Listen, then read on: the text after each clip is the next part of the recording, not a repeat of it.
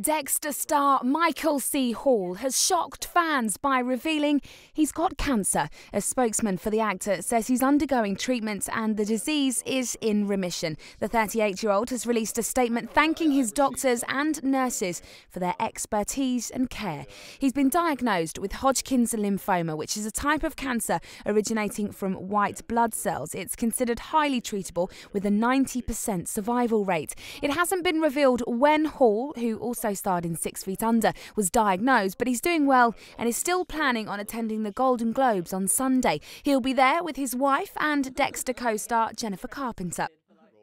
Hall is nominated for his performance as Dexter Morgan, a serial killer come blood splatter expert working for the police.